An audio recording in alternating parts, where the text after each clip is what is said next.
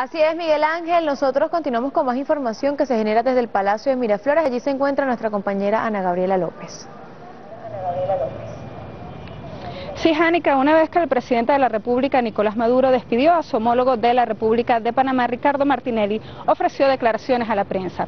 En ellas anunciaba que ya el gobierno de Venezuela ha recibido la solicitud de asilo por parte del ex técnico de la CIA, Edward Snowden. Escuchemos sus declaraciones. Llegó una carta de solicitud del asilo ya de Snowden. Sí, ya. Ahora le dan una copia. Ahí está. ¿Ah? Bueno, no sé. Él tendrá que decidir cuándo vuela para acá. Si quiere definitivamente volar para acá. Lo cierto es que América Latina es un territorio humanitario y cada vez se abre el territorio más grande.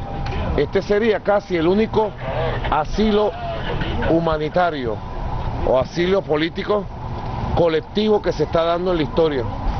Ya son varios países, es un asilo humanitario colectivo, donde el territorio de varios países de nuestra América Latina siempre humana le dice a este joven, bueno, está siendo perseguido por el imperio, véngase para acá.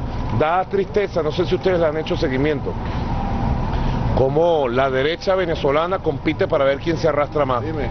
Da vergüenza da vergüenza. Yo tengo un seguimiento al pelo de cada dirigente político. ¿Y ustedes saben para qué sirve esto? Para la historia. ¿no? Sirve para la historia porque ustedes se ponen a ver la calidad y la velocidad de la declaración, podrán saber quiénes son los dirigentes y opinadores y ex diplomáticos de la Cuarta República tarifados por la Embajada Gringa.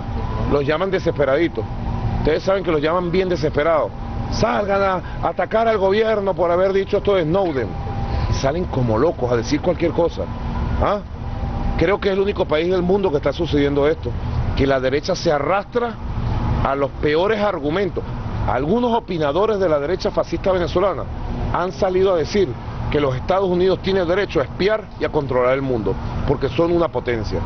Han salido a decirlo entre las barrabasadas que han dicho en las últimas 48 horas. Estados Unidos ha dicho hoy que cualquier país que reciba a Snowden tiene que devolverlo para la tema. ¿Tiene alguna represalia de Estados Unidos? Estados Unidos no gobierna el mundo y menos nos gobierna a nosotros. Nosotros somos un país libre y soberano que no lo gobierna nadie, solo el pueblo de Venezuela y bueno, el gobierno legítimo, electo por el pueblo venezolano. ¿Tuvo oportunidad de hablar con Snowden en algún momento? No, me gustaría, todavía no.